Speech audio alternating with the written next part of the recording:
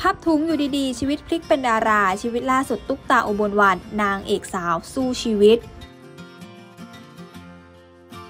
หากเอ่ยถึงนักแสดงสุดสตรอง หน้าสวย ตากลมเหมือนตุ๊กตา คงต้องนึกถึงนักแสดงสาวมากความสามารถอย่างตุ๊กตาอุบลวันค่ะ ซึ่งเธอนั้นเป็นสาวสู้ชีวิตคนหนึ่งที่กว่าจะประสบความสำเร็จในชีวิต ต้องต่อสู้กับความยากลำบากไม่ใช่น้อย เธอได้เล่าถึงชีวิตก่อนเข้าวงการว่าครอบครัวของเธอทำงานก่อสร้าง เธอจึงต้องช่วยงานพ่อแม่อย่างเสียไม่ได้ เพราะความจนทำให้เธอนั้นไม่เลือกงาน ตั้งแต่วัยเด็กแล้วเห็นอะไรก็เก็บไปขายหมดช่วยพ่อแม่ทำงานมาตลอด เพราะท่านลำบากแล้วก็สงสารท่านได้มีเวลามานั่งเล่นเหมือนกับเด็กคนอื่น ซึ่งเธอเองนั้นนะคะตั้งแต่เด็กๆ ก็จะเก็บของมาขายตลอดว่าจะเป็นผักหญ้าถุงกระสอบ เพื่อจะได้แบ่งเบาภาระครอบครัว เมื่อประตูบานแรกของตุ๊กตาอุบลวรรณได้เปิดแล้ว เธอจึงได้โลดแล่นอยู่ในวงการบันเทิงเรียกได้ว่าสร้างชีวิตใหม่ให้กับเธอเลยก็ว่าได้สำหรับผลงานการถ่ายมิวสิกวิดีโอของอริสมันต์ พงศ์เรืองรอง คู่กับต่อนันทวัฒน์และได้มีโอกาสแสดงภาพยนตร์ในเรื่องต่อมาค่ะ คือเรื่องลองจุ้น ขอหมอนใบนั้นที่เธอฝันยามหนุนคู่กับสมชายเข็มกัดในปี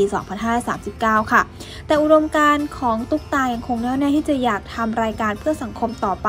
เธอขอบคุณพ่อกับแม่ค่ะที่ไม่เคยห้าม และสนับสนุนให้ลูกช่วยคนมาโดยตลอด ขอบคุณอาจารย์รายการโหนพลิกชีวิต ขอบคุณเพื่อนๆพิธีกรที่น่ารักอบอุ่นและจริงใจ